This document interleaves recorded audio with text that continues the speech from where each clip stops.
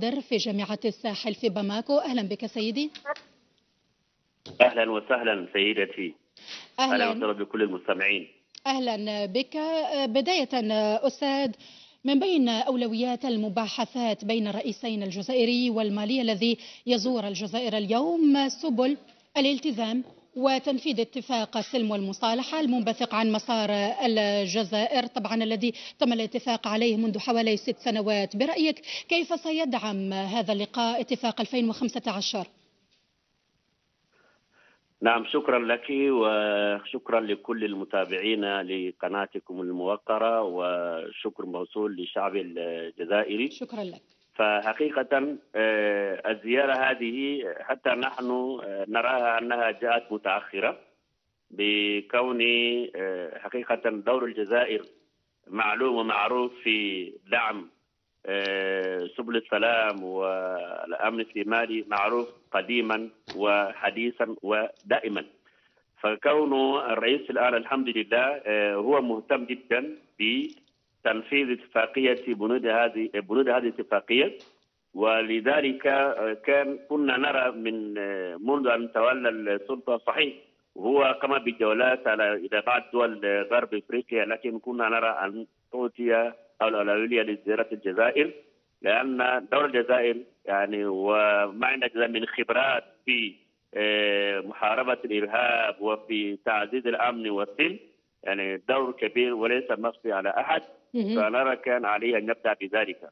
ولذلك لا نستبعد أبدا أن إن شاء الله كما تفضلت كون الجلسة تمت في كدال برعاية الجزائر آه، ففعلا آه، سعدنا كثيرا. ولا نستبعد أن هذه الزيارة ستكون أيضا زيارة خير في آه، أن يتوجه الجميع إلى تنفيذ بنود هذه الاتفاقية. هذا ما نرجو إن شاء الله نعم تعالى. إن شاء الله. طيب أستاذ ما هي أهمية الإعلان عن اتفاق السلم والمصالحة في مالي؟ وكيف تلقت المعارضة والحركات المسلحة آه، في البلاد المضي في تجسيد بنود هذا القرار؟ اولا أهميتها كبيرة جدا وإن كان في خلاف آه،. حول بعض البنود يعني. ولما الاتفاقية بصفة عامة آه، استقبلت بترحيب وبقلوب آه، راحبه جدا وبخاصة أنها تمت عن طريق آه، الجزائر.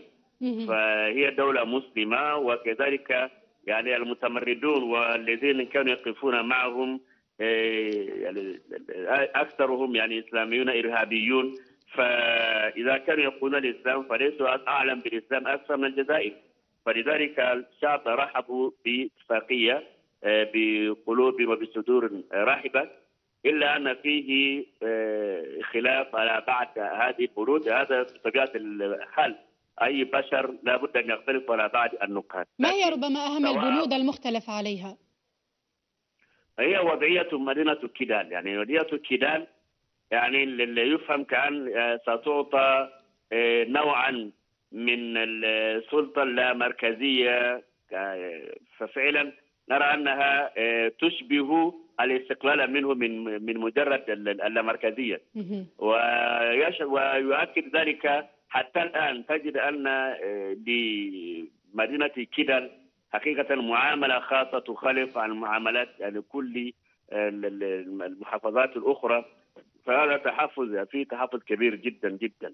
نعم. لكن على العموم جاء في حينه فكان سببا في إيقاف الحرب وفي إيقاف سيلان الدماء إلا أن الذي يؤسفنا حد لحد الآن إذا لم آه، يتم تنفيذ هذه الاتفاقية يصعب تماما السيطره على الإرهابيين المسلحين الجهاديين. لانهم يستغلون دائما الخلل الأمني نعم. ليضربوا هنا وهناك حتى لا تفرق بين ماذا وماذا. نعم نعم. بحديثك عن جماعات الإرهابية آه، ماذا يمثل تطبيق ميثاق المصالحة بالنسبة للماليين خاصة سكان آه، مدن شمال مالي ككيدال جاو وتمبوكتو التي كانت آه، أكثر المدن التي وقعت تحت سيطرة المجموعات الإرهابية؟ نعم.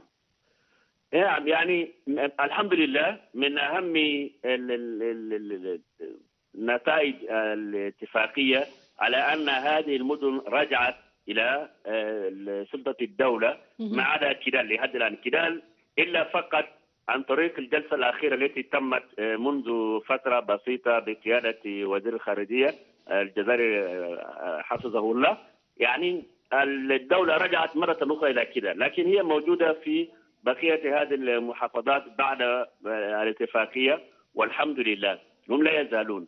لكن إذا لم يتسرعوا في آه، تنفيذ حتى يكون شيئا واقعيا ملموسا لأننا التخوف كبير جدا في أن آه، هذه المدن وهذه المناطق قد ترجع مرة أخرى إلى يد هؤلاء نعم. الإرهابيين طيب كيف سيساهم؟ المسلحة. كيف سيساهم تنفيذ هذا الاتفاق في تحييد هذه المجموعات الإرهابية؟ نعم سيساهم لأن آه، من بنود الاتفاقية أنه سيتم تجنيد أن يتم تجنيد آه، حملة السلاح من المتمردين. ي- تنزع أسلحتهم ويسكن بعضهم في الجيش المالي وبعضهم في وظائف. فإذا تم ذلك يمكن أن أن تميز بين من هو عدو ومن ليس عدوك. لكن حاليا الجماعات ال- ال- المواقعة على الاتفاقية أسلحتهم معهم. لا تستطيع أن تميز بين من هو من المسلحين الإرهابيين ومن هو من صعب الآن التمييز. نعم. لكن لو تم اتف- اتفاق تنفيذ الاتفاقية أكيد هؤلاء سيسلموا أسلحتهم ويتم تسكينهم في الجيش المالي فسيتعاونوا معا في محاربة هؤلاء الإرهابيين. نعم طيب أستاذ بكاري كوني فرنسا تدخلت في مالي تحت ذريعة مكافحة الإرهاب وفي نهاية المطاف أشارت تقارير كثيرة بأنها سارعت إلى التفاوض مع مجموعات إرهابية وحتى لجأت إلى دفع الفدية لها في عدة مرات وهو ما يتنافى مع الأعراف الدولية طبعا ألا تعتقد بأن التدخل الفرنسي في مالي قد عقد أكثر فأكثر الأزمة المالية؟ آه، نقول فرنسا هؤلاء خدعوا خدعوا الشعب مالي كان آه، رموا الغبار على أعينهم وفي أول مسيهم ما شاء الله كل الماليين رحبوا به بأنهم جاءوا ووصفوا بكل وصف أنه شعب المنقذ وأتوا كذا كذا. لكن تبين أن هؤلاء مكرهم كبير جدا. نعم. ولذلك تجد آه، سواء في المناطق الشمالية أو في الجنوبيه حتى في العاصمة من حين لاخر ترفع أصوات وخروج جماعات مظاهرات مثلا ترفع لافتات لافتات آه، نريد خروج فرنسا. لا نريد فرنسا يعني فعلا يعني هم آه، خدعونا تماما. يقول للدولة لا مفاوضات مع الإرهابيين. لكن من أجل آه، كيف أقول إطلاق سراح رهائنهم تراهم يعني يتفاوضون مع الجماعات وتدفع أموال. ثم بعد ذلك يقولوا ما في مفاوضات مع الإرهابيين. نعم. فحقيقة الشعب المالي اليوم أغلبية لا تريد تواجده وتريد أن يغادروا هذا البلد. نعم هل اتفاق السلم الآن والمصالحة في دولة مالي سيدفع نحو إخراج فرنسا من مالي؟ لا يعني للاسف هذا ليس هذا ليس فيه يعني لأن فقط إذا تم آه، التنفيذ بجيد ممكن الشعب يضغط على الحكومة على أن آه، تلغي الاتفاقية التي بينهم لأن في اتفاقية آه، أمن وسلام بين آه، حكومة مالي وفرنسا بناء على ذلك إذا ما دام هذه الاتفاقية موجودة لا يمكن أبدا استخراجهم لكن فقط يمكن لو تمت آه، تنفيذ اتفاقات المصالحة هذه بصورة جيدة آه، والناس رأوا النتائج على على أرض الواقع. بهذا ممكن يضغطوا جميع الدولة بصوت واحد. على أن آه، يوق- يوقفوا هذه الاتفاقية مع فرنسا. نعم. طيب منذ شهر جوان 2020 تشهد مالي أزمة سياسية عقب الاطاحة بالرئيس إبراهيم أبو بكر كايتا واستلام المجلس العسكري الانتقالي للحكم في البلاد. طبعا نعم. المجلس الذي نصب آه، بهنداو رئيسا لقيادة آه، مرحلة انتقالية. برأيك كيف ساهمت الجزائر في مساعدة مالي على الخروج من هذه الأزمة المعقدة بالنظر للعلاقات بين البلدين؟ جميل. فحقيقة نحن ننظر إلى الجزائر ليست نظرة يعني قليلة يعني نظرة إلى الجزائر نظرة على أنها دولة شقيقة. يعني ونقول أخت كبيرة ذات يعني خبرات يعني كبيرة جدا. أن أن الجزائر خرجت من مأزق كبيرة جدا مشاكل 1992 إلى الاستقرار ثم بعد ذلك إلى الثورة التي قامت وبعد ذلك. ففعلا عندها خبرات جدا جدا فنحن نريد أن نستفيد من هذه الخبرات.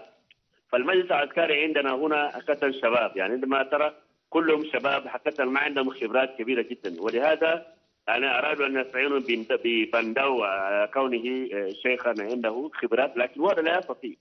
فلذلك الشعب المالي ينتظر من الجزائر حكومة وشعبا تزويدنا بالخبرات اللازمة وبالمساعدات اللازمة لكي يتم أو تتم هذه الفترة الانتقالية بنجاح.